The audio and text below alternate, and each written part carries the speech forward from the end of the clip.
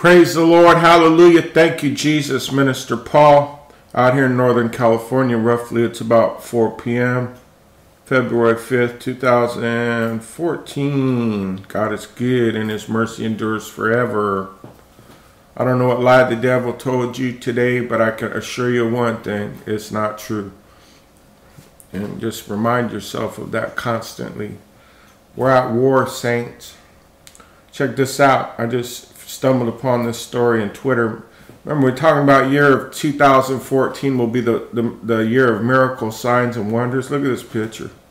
It's beautiful. Okay, so on the left, you got the Big Dipper. On, on the right, you got Cassiopeia. And right in the middle is called Polaris, otherwise known as the North Star. Watch this. It's growing brighter.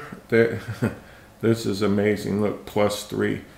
Uh, the story says the mystery of the North Star.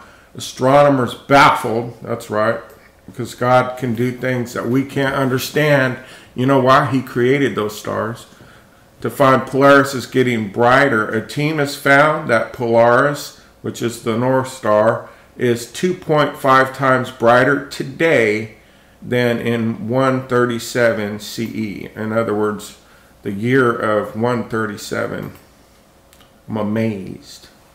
Uh, experts say uh, the find is entirely unexpected. Um, I'm going to put a link to this story. This person has been calling and harassing me all day. It's blocked. Uh, that's the new thing now. Somebody calling you and harassing you, just block it. Um, so, look at this. The star has suddenly reversed, suddenly it says, two decades of dimming. I don't have to read the whole article to you, but I think it's amazing. And, and you know why I find this so amazing? Not just because the Lord told me that 2014 would be, be the year of miracle signs and wonders. And prayerfully, we hope it's the year of the return of Christ Jesus our Lord to get us out of this mess that the world's become. But also, um, the other night, I don't know if I mentioned this in the video or not, but the other night, I think I did. I went out at about 2:30 in the morning, and um, I, for some reason, I found myself staring up at the sky, and, and they all seemed brighter than I'd ever seen in my life. And I didn't even realize what the Lord was trying to tell me, other than